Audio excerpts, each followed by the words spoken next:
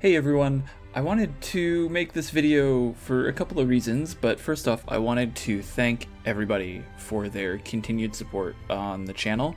I had absolutely no idea that a YouTube channel that was solely devoted to making fishing guides for Final Fantasy XIV would garner so much support, but here we are almost at 500 subscribers in just a little under a year and I I see so much discussion and people helping each other, asking questions and sharing their own discoveries in the comments and I love it. Please keep being awesome and again, thank you for your support. I really really do appreciate it.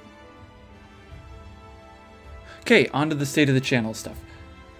Going into Endwalker, you may have noticed that I've moved into a two video a week schedule.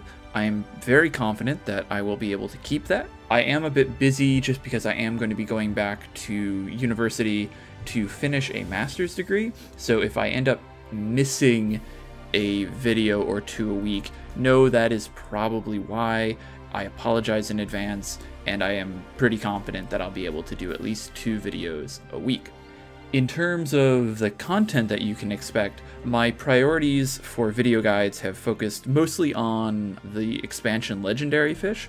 I'm specifically tracking Charbonnet, Xenacanthus, and Rhomdolopterus as the next three major fish that I'm going to get, along with Cinder Surprise from uh, Shadowbringers. So expect those guides out before Endwalker, hopefully, if I can catch them. In terms of non-fish catching guides, I am going to be doing a suite of basics guides, so talking about patience and mooching and how those skills work, because we get a lot of questions about those in the Fishers Discord, and I want to have videos on those going into Endwalker so that there is a good uh, battery of knowledge. For Endwalker's release itself, I will be breaking my two a week schedule and I will just be pumping out videos as much as I can as we discover where the relevant fish are. And the relevant fish will be leave fish, quest fish, and probably the common tier rare fish. So that would be kind of like the Apoke of Shadowbringers or Sculptor of Stormblood. As I find those, I will record them and I will put them out as quickly as I can, uh, as soon as I can. Now, there's a handful of questions that I get asked a lot in the comments that I, instead of individually answering the questions, I'm going to answer them here. So first off, uh, I get asked a lot, less than you would think, but it's a big enough question that I'm going to answer it anyways and that is, will I be using voice in my guides? The quick answer is I don't know. It takes a while to edit audio down, like it's another hour or two of work, so I want to make sure that I'm able to make these guides as quick as possible just because I'm already pretty busy, so if I can find a way to do it quicker, then maybe we'll start seeing it.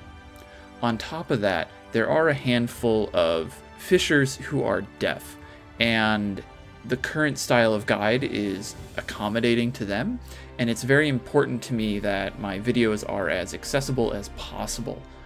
Without a solution for captions, I'm not yet ready to add voice to my guides until I can get that caption solution figured out. And I'm not a fan of YouTube's auto-generated captions because they're pretty crappy. Another question I get asked often is, will you make non-guide content? And I'm looking into it. I don't know exactly what it will be. The Fishers Discord have put together this little challenge called the No GP Challenge, where we go and basically recatch fish without using any GP skills, which basically just limits us to mooch, cast, and hook. And that's been actually kind of fun. I've enjoyed it a bit. It's a it's a little bit of a, a challenge.